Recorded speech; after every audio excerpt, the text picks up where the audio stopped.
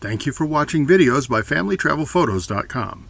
In this episode, I will continue a series of videos that prepare you to fly the Yuneec Q500 4K by taking you on a step-by-step walkthrough of your first flight.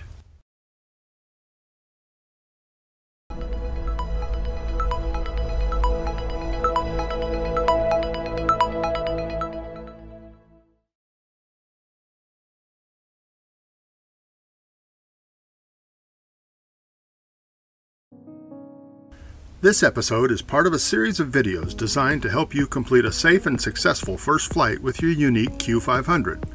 These episodes apply to the Q500 4K and the Q500 Plus. With very few exceptions, this series applies to the Typhoon G as well.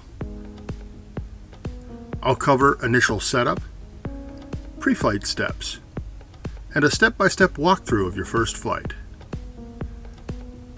along with more suggestions to make your flying even safer. Tips that could save you thousands of dollars in the event of an accident. More videos of interest to Yuneec Q500 owners are in the works. Be sure to subscribe so you know when those videos are posted. Let's get started with episode 3, your first flight.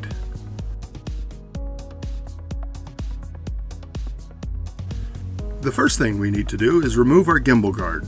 As you can see, mine is held in place with a blue Velcro strap to remind me that it needs to come off.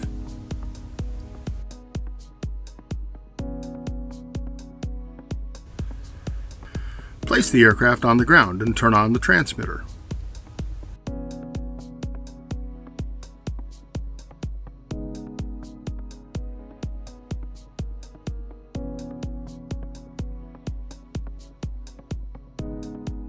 When you hear the transmitter sound,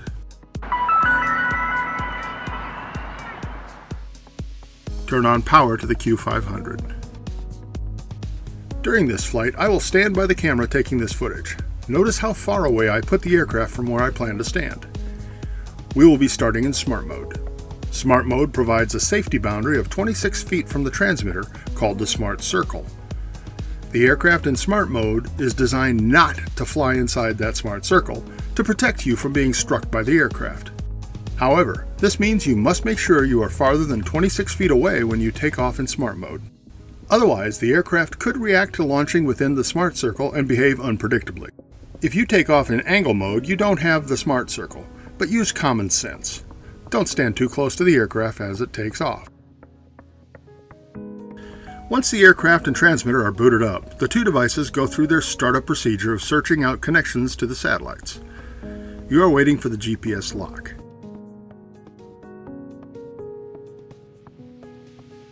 Now it's time to set the transmitter.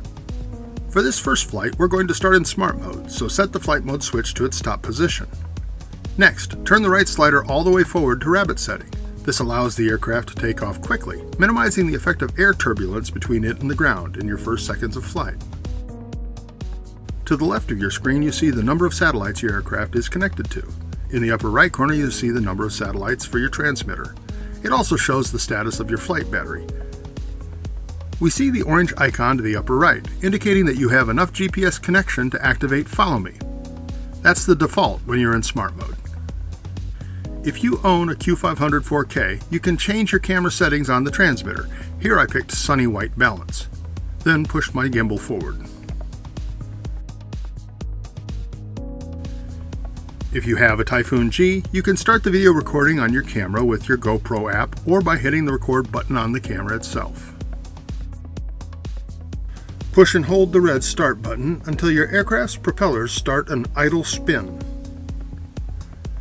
I usually take a last look to make sure my speed is set to rabbit and I'm in the mode I want to use. Ready? Here we go. Push the left stick all the way forward. Your Q500 should pop up off the ground. Take it up to 10 or 15 feet and let go of the throttle. I like to let the aircraft hover for a moment to make sure it's working properly. On your right slider, pull it back to turtle mode. Now the aircraft will move slowly so you have time to react and learn. Let's take a few moments to get a feel for the sticks. Let's start with the left stick. Push it forward and the aircraft goes up. Pull it down and the aircraft comes down. Let it go, and the aircraft hovers. If you push the left stick to the right, the aircraft will spin in that direction. This is called yaw.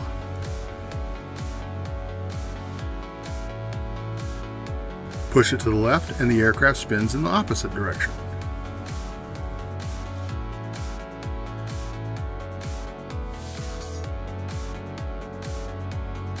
Now the right stick.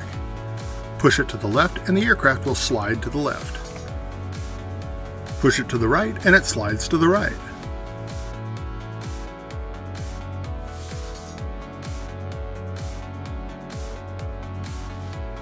If you push the right stick forward, the aircraft moves away from you.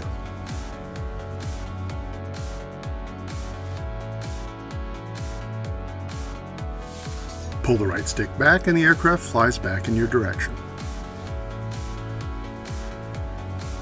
Remember, we are in smart mode, so the aircraft will move forward and back without regard to what direction the aircraft is pointing. Here you can see that I'm literally spinning the aircraft in a pirouette with the left stick as it flies forward and then back with the right stick. In Smart Mode, forward is always forward no matter which way the Q500 is pointing.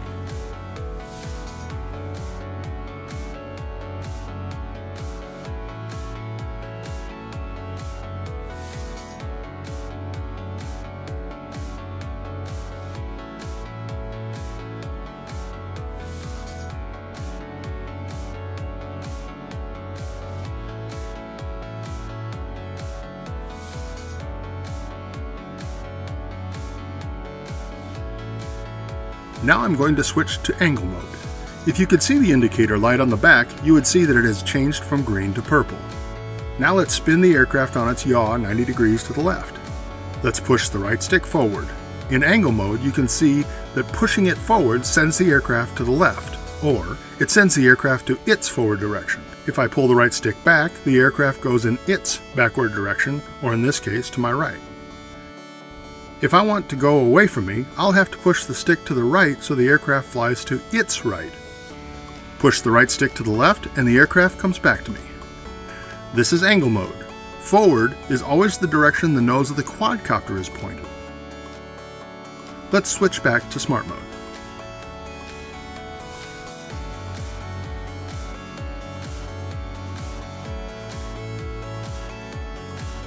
By the way, if I wanted to shoot a still photo, I would hit the button on the left shoulder of the transmitter.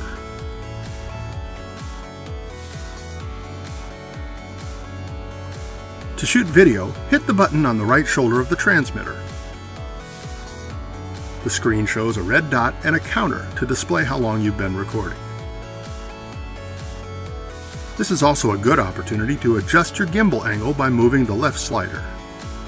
Pulling the slider back points the camera downwards all the way back and the camera is pointing straight down. If we then fly straight up, you get a better sense of how this view looks. This is a very common shot for aerial videographers.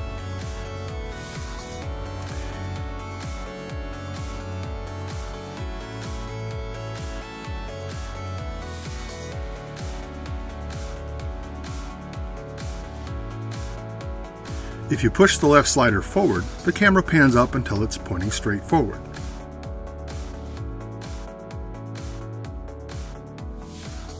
A perfect angle for a 360 degree panorama.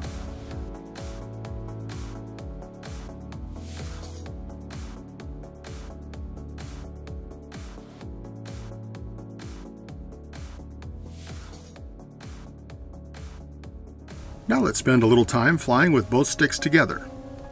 You can fly diagonally up and down, go right or left, or spin as you descend. The two-stick control gives you the ability to fly three-dimensionally.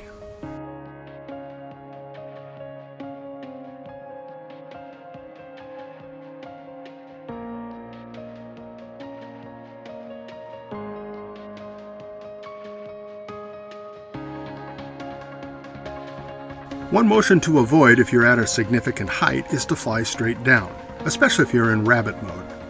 The propellers cause turbulence in the air beneath them. If you descend into that turbulence, your props can literally lose the grip on the air and you can crash. This is called vortex ring state. When you want to descend, try a zigzag pattern. Pull both sticks back so you're flying backwards, slanting down.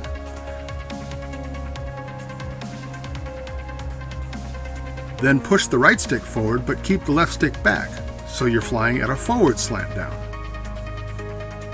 Do this back and forth. Use this zigzag pattern to avoid vortex ring state.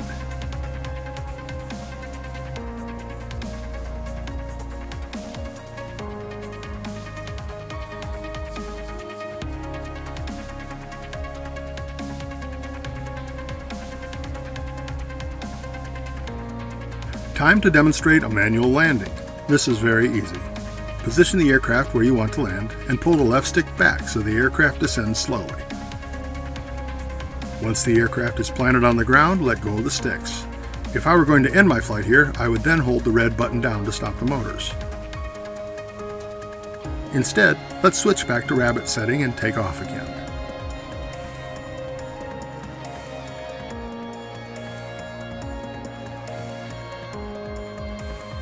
Once we're hovering, I'll pull it back to turtle mode for this first flight. I'm sending the aircraft out so I can demonstrate the return to home function, or home mode.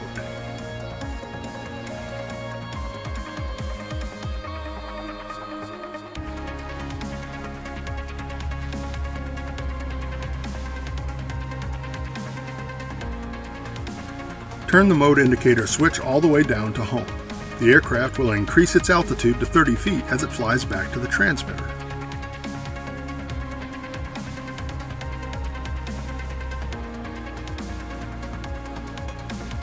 The aircraft will descend slowly and land itself, then shut off its motors.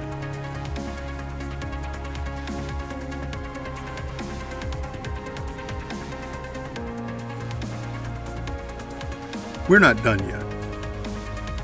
Move the indicator switch to smart mode and hold the red button to start the motors. Notice that I didn't change to the rabbit setting this time.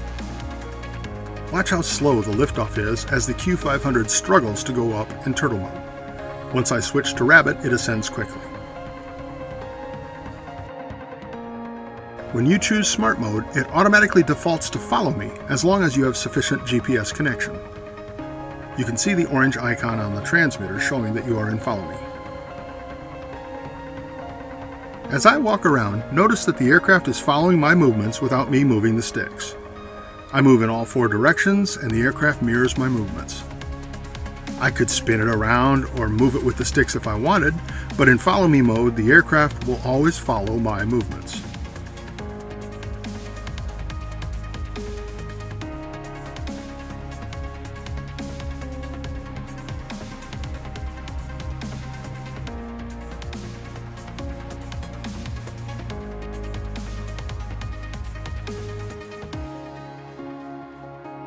Now if I push the orange icon, I switch to Watch Me mode. The icon changes from orange to green and the aircraft rotates so the nose and camera are pointed at the transmitter.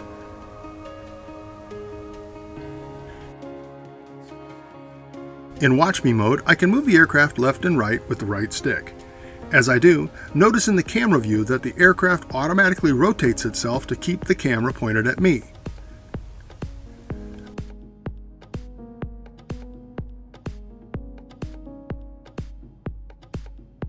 I'm going to turn down the speed and then put the aircraft further out so you can see it better.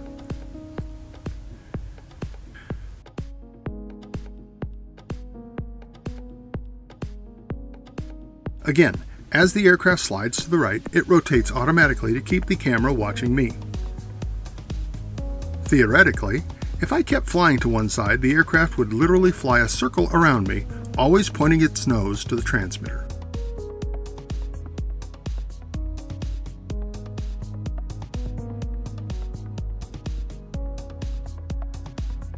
Now watch what happens when I try to spin the aircraft with the left stick. I push the left stick to the side and nothing happens. Yaw control is disabled in Watch Me mode because the aircraft manages that for you.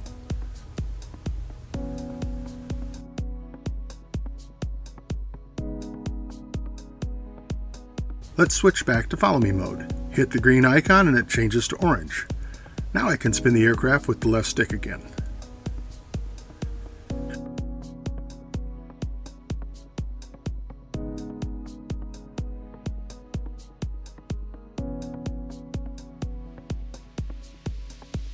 I'm checking my flight battery. It's at 10.5 volts, which is very low. If the aircraft was several hundred feet away, I would definitely start bringing it back immediately. As it is, I'm 110 feet away and about 40 feet up, so I'm safe. Let's demonstrate one more thing. Remember when I said that you are protected with a 26 foot circle while you're in smart mode? Let's see that in action. I'm bringing the aircraft back towards me. Once it reaches the smart circle, it stops. I'm pulling the stick back, but it won't fly closer to me. By the way, look at my screen. The red box is giving me a warning about a low battery. Keep that in mind. Let's try the smart circle again. I'm pulling the stick back, but the aircraft stops before it reaches me.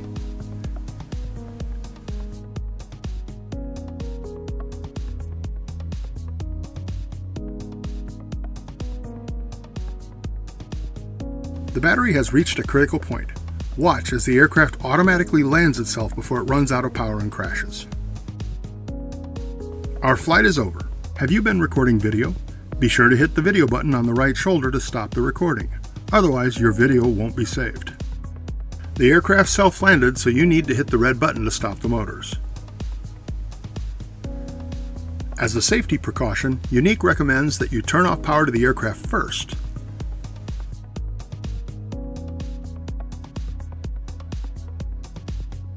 then turn off the transmitter.